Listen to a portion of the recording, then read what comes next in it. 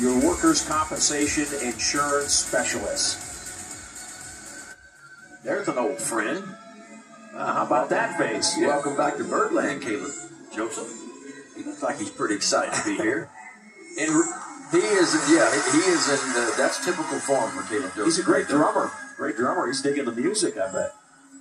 Caleb, part of the Oriole. I mean, in, in the organization forever, but part of the Orioles up here in Baltimore from 14 through 18, and uh, just a great personality, great team guy, popular in the clubhouse.